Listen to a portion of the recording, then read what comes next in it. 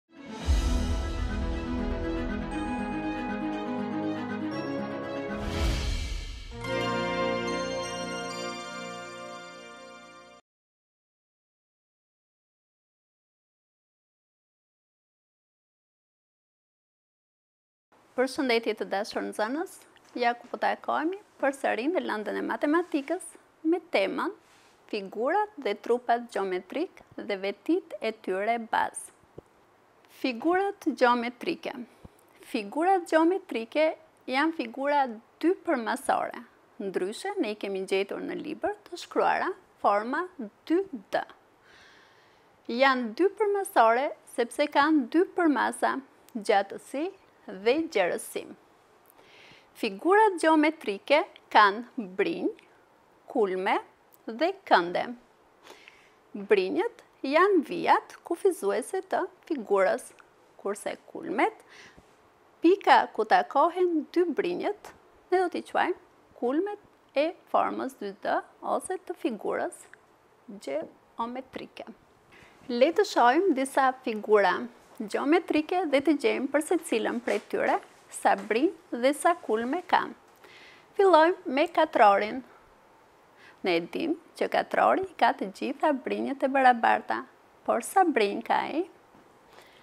Një, dy, tre, katër. Pra, katrori ka katër brinjë. Dhe sa kulme?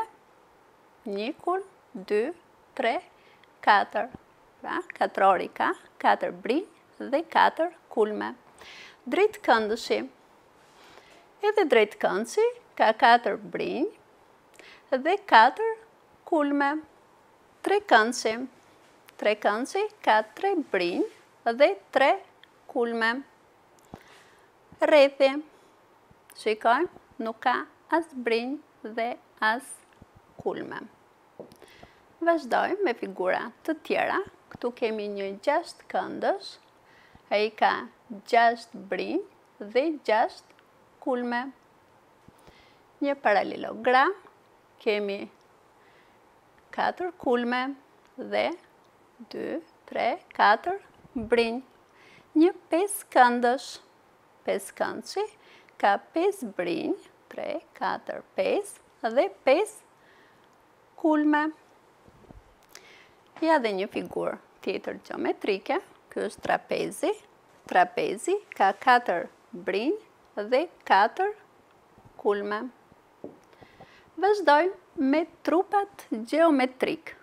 Trupat gjeometrikë janë forma trepërmasore, ose forma 3D.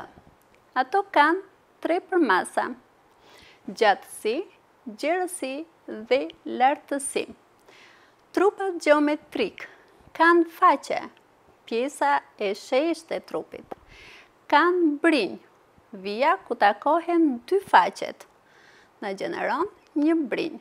Kanë dhe kulme. Pikëprerja e dy brinjëve na formon një kulm. Ja ku i kemi dhe tek figura këtu, kemi faqet, pjesën e sheshtë të figurës, kemi kulmet, kemi dhe brinjët. Shikojmë disa figura gjeometrike dhe për secilën prej tyre gjejmë numrin e faqeve, të brinjëve dhe të kulmeve. Shikojmë një sferë. Tek sfera kemi 0 faqe, 0 brinjë dhe 0 kulme. Shikojmë kubin, Kubi i ka të gjitha faqet katrore. Po sa faqe ka kubi? Shikojmë. Kubi ka gjashtë faqe. Ka 12 brinjë dhe 8 kulme. Cilindri. Cilindri ka tre faqe. Ka dy bazat e tij. Ka dhe një faqe të lakuar. Nëse e hapim cilindrin, kjo faqe e lakuar do na formojë një faqe drejtkëndore. Ka zero brinjë dhe zero kulme. Ja dhe disa trupa të tjerë. Koni ka një faqe, zero brinjë dhe një kulm. Kulmin e kemi këtu. Piramida me bazë katrore. Baza është figura e sheshtë ku mbështetet piramida dhe kulmi i piramidës.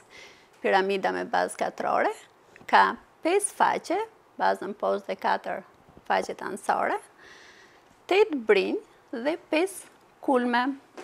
Çfarë dimë tjetër për trupat?